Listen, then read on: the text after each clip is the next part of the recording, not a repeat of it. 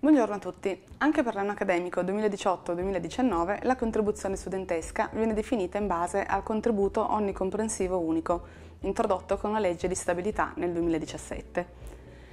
Il contributo onnicomprensivo unico viene calcolato in base all'ISEE, all'impegno di studi scelto dallo studente, quindi tempo pieno o tempo parziale, e soprattutto sul merito, quindi i CFU conseguiti dagli studenti. Per beneficiare dell'esonero o della riduzione del contributo onnicomprensivo unico, devi quindi essere in possesso di un ISEE universitario oppure di un ISEE parificato ove ricordano le condizioni. L'ISEE universitario deve necessariamente recare la dicitura si applica alle prestazioni agevolate per il diritto allo studio universitario a favore di deve essere indicato il codice fiscale dello studente Attenzione, dovrà essere indicato il codice fiscale di ogni studente facente parte il nucleo familiare indicato nell'ISEE. Quindi, se nel tuo nucleo familiare ci sono più studenti universitari, il tuo ISEE dovrà recare al termine della dicitura si applica alle prestazioni agevolate per il diritto allo studio universitario il codice fiscale di tutti gli studenti facenti parte del nucleo familiare. Mentre l'ISEE universitario può essere richiesto sia presso un CAF, centro di assistenza fiscale, che direttamente sul sito web dell'INPS, l'ISEE parificato potrà essere richiesto solo ed esclusivamente presso il CAF. Sia l'ISEE universitario che l'ISEE parificato devono essere richiesti entro la data del 31 ottobre 2018, oppure con l'aggravio di una indennità di mora di Euro 100 entro il termine ultimo del 20 novembre 2018. Nel caso in cui l'ISEE universitario oppure l'ISEE parificato non vengano richiesti entro il termine ultimo del 20 novembre 2018, non si ha diritto alla riduzione o l'esonero del contributo onnicomprensivo unico. In questo caso si è tenuti a pagare l'importo massimo previsto. L'ISEE universitario sarà prelevato direttamente dall'Ateneo dalla banca dati presso l'INPS. Non dovrà pertanto essere consegnato alla sezione diritto allo studio.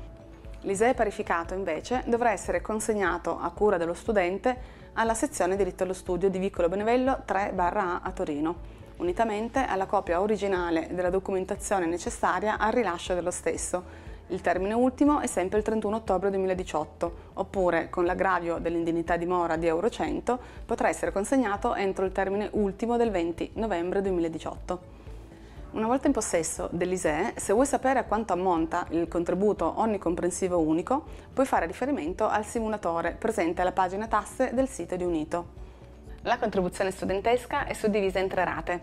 La prima rata va versata all'atto dell'immatricolazione o dell'iscrizione agli anni successivi ed è uguale per tutti gli studenti. Ammonta ad euro 156, di cui 140 di tassa regionale e 16 euro di bollo. La seconda e la terza rata rappresentano invece il contributo onnicomprensivo unico e devono essere pagate rispettivamente entro le ore 16 del 30 novembre 2018 ed entro le ore 16 del 5 aprile 2019 esclusivamente per gli iscritti al primo anno delle lauree magistrali che si iscrivono dopo il 30 novembre 2018, la scadenza della seconda rata slitta alle ore 16 del 15 gennaio 2019. La seconda rata costituisce il primo acconto del contributo onnicomprensivo unico, mentre la terza rata è il saldo del contributo onnicomprensivo unico. Il pagamento tardivo delle rate comporta l'applicazione di un'indennità di mora, nell'ordine di 50 euro per i pagamenti effettuati entro 7 giorni dalla scadenza e 100 euro per i pagamenti effettuati oltre i 7 giorni. Da quest'anno potrai pagare non solo attraverso il bollettino MAV che trovi accedendo alla pagina tasse della tua Mai Unito, ma anche attraverso il circuito Pago PA. Per qualsiasi informazione relativa alla contribuzione studentesca puoi fare riferimento alla sezione diritto allo studio che si trova a Torino in vicolo Benevello 3-A.